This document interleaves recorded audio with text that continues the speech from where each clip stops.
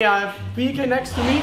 Uh, Peekay is a young dressage horse. Um, I ride with him, yeah, like the normal English way. But today I thought it was a good idea to try the bitless bridle on him. He doesn't know it yet, and so I'm gonna take him up first, and then we do the normal way of riding, and hopefully we can change to bitless, and then we'll see how we go. I wasn't really arching to do that. It's a hard knock life Video? Why not?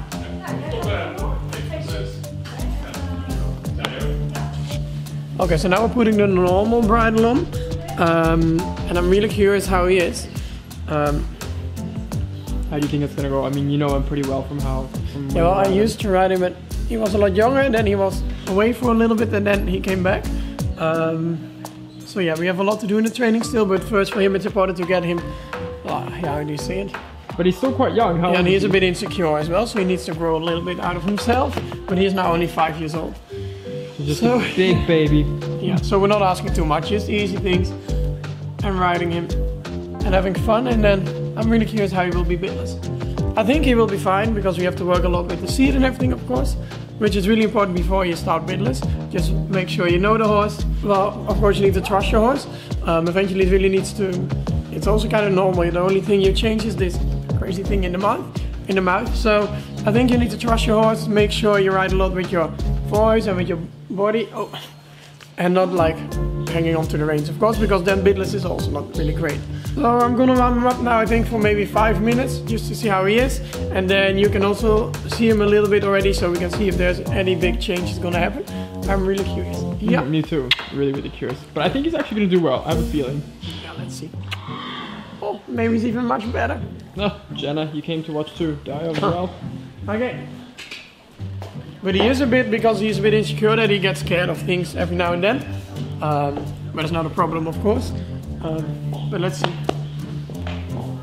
We are gonna close this because, well, you never know, especially today. And I also think people shouldn't be really telling other people not to ride or other people to ride bitless. I think it's just really important what works for you and your horse. Um, so that's always good to try it out and then you'll feel what, what works best for you. Okay, let's see. To teach him how to park.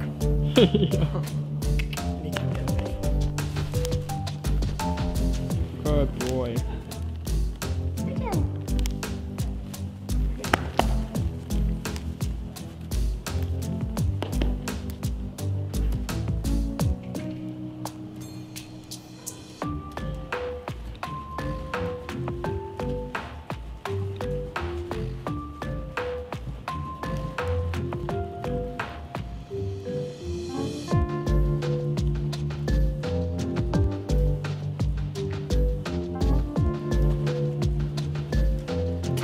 Looks good, Yasin. Yeah.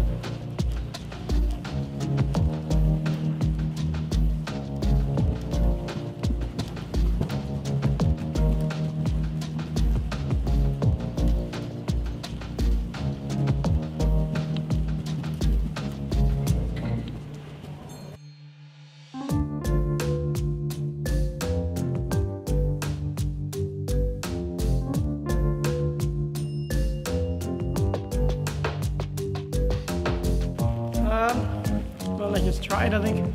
It's the better thing to say. Yeah. But I think you'll be okay. Let's take this one off and then uh and let's see how it goes. Yes, we get the bridle. Yes, I'll grab it. Okay, so this is the bitless bridle we made ourselves. Um, it's a really nice bridle that lo- almost looks like a normal bridle, and it's really soft. And I like this system the most because you can have it really like yeah, really friendly and soft. And if you need a little bit more, you can put it a bit further. Yes. Um, but what I also like is the really the release is straight away, and yeah, all the horses I've done with it with the bridle uh, felt really good. So yeah, really exciting. Yeah, this is the one I used on Chase for Horse Event, and it's got the gel pad in the in the nose, so it's really comfortable for them as well. Uh, and it's got the anatomical headpiece at the top as well. Uh, and I like it. And honestly, from far away, it really does look just like a like a normal bridle with a bit in it, in it, especially because of the kind of round system here as well.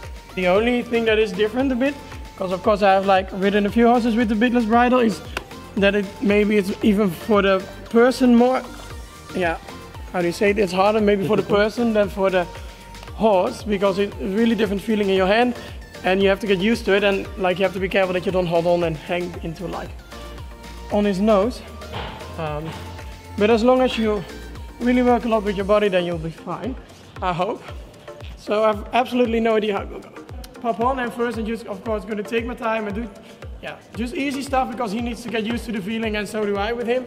Um, and you better don't rush anything because that only makes everything harder. So just take your time and have fun with it. Oh.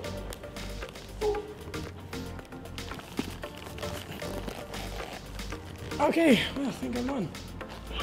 because I was like, what? What's going boy. on? Good boy. And now before I even start riding, I first want to know if I have a little bit of a stop. I'll try if he backs up so then he already reacts to the pressure. I think he does. Good boy. Yeah, good boy. Yeah. Okay, I'm gonna walk. Walk. The rest just like act really normal how you usually do it. Good boy. And for now, because it feels really different, I could hold on a bit tighter, but just let my hands also go. Give him my trust. But it looks good. Yeah. Yeah. But he looks kind of soft in the contact as well. So he kind of just like carries it nicely, I think. Good boy.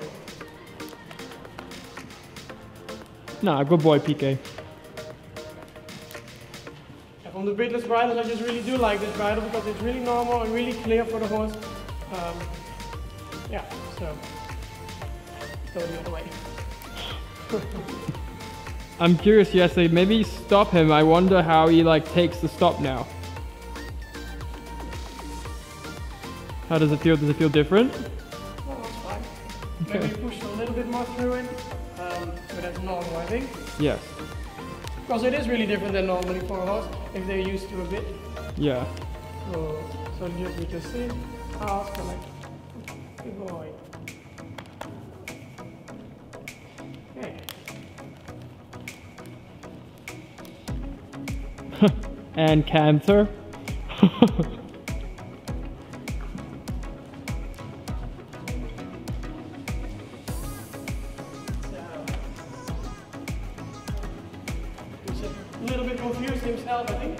Yeah, but it looks good.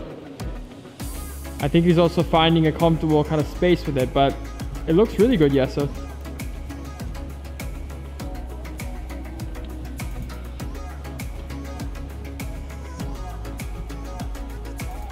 And usually they say, of course, like you feel your head where the problems are, you shouldn't pick with your head, but from behind. So I think this is a really good exercise for that. Yes, I think it really makes you use your seat as well. It makes you ride the horse fully. A lot of people get stuck on the hand or the head placement, but it really has to do with the whole body. That's collection.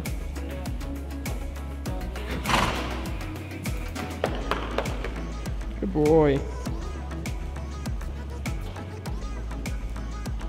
Really, really good. But like a really nice, um, he almost has a nicer head carriage here than with the bit. Yeah, more up, a little bit more open.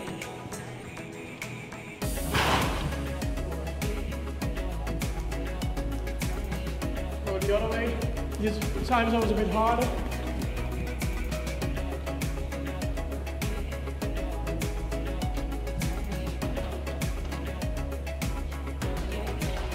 It's interesting though, yes, because he's usually quite a shy horse, and, he, and he, I think he takes a lot of um, courage and trust from the bit. So I think it's it's. I'm curious to see kind of how he goes about a new challenge or something scary when he doesn't have that, when he's a bit by himself. I mean, of course you're there for him, but it's gonna feel different in the hand as well. the Um, only thing I feel is that on his left side he's a bit harder and stronger. Um, so what I used to do when I started riding without a bit, I just held on. I was like trying to get it softer, but you just have to ride through it. Yes. Don't fix it with your hands, and if you do it already with your hands, just ask and let go again. Yes. And it's working for him now. It's better. No, but it looks really, really good. And you kind of just have to ride them into the contact sometimes, which I mean you should be doing anyway. Um, but it's, so it's not about so much thinking back and taking it back, but maybe riding into the contact helps better.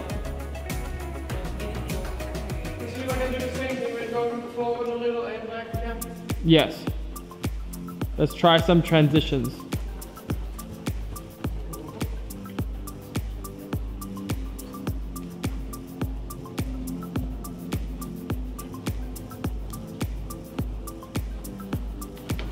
Also been practicing of going really back in the shot and then he has to carry himself. So we're just gonna do it now again without the bit. Good oh. boy.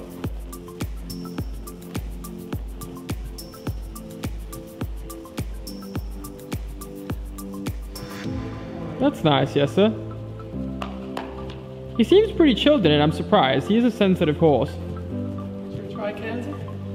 Yeah, let's try canter. It's gonna be the real test. You're off.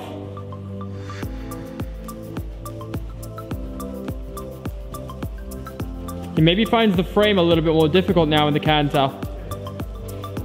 But that's also normal, I think. Horses get so used to kind of relying on the bit and then having that aid and the training behind it that it's also normal for the horse to have to retrain a little bit in this way as well. Does it also feel more forward, the canter? Um, it's just a bit looking and a bit focusing on other things. Like for example now he's being scared of things. But that's only good for him I think. Yes.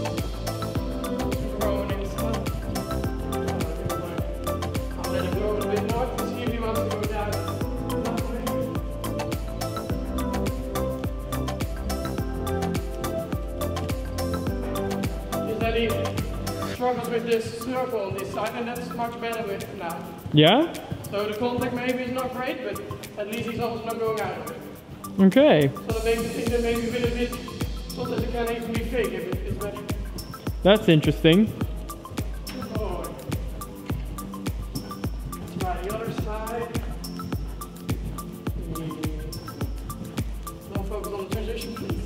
Oh. Let's see how this transition is. It wasn't terrible. Good boy. His little beard was shining in the sun.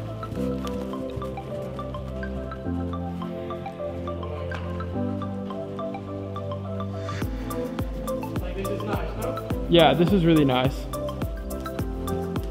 The side is definitely easier for him.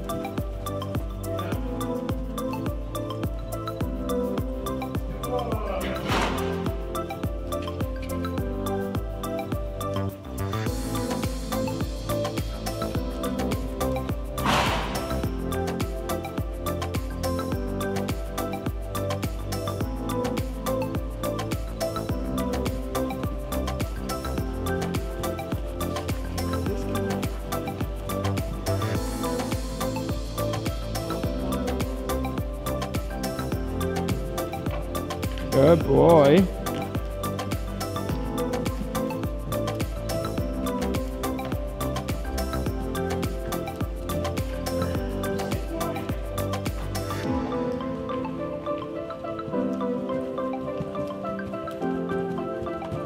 Good boy, big stretch.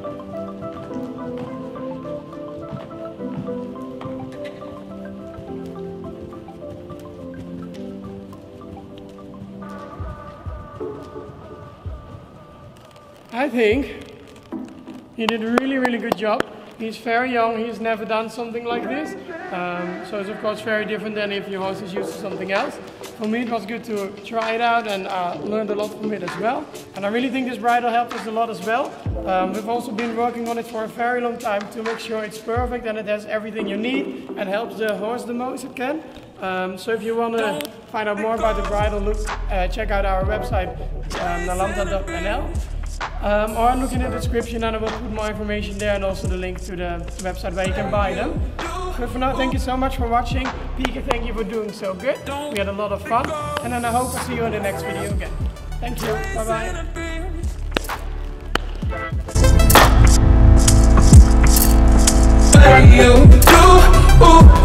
you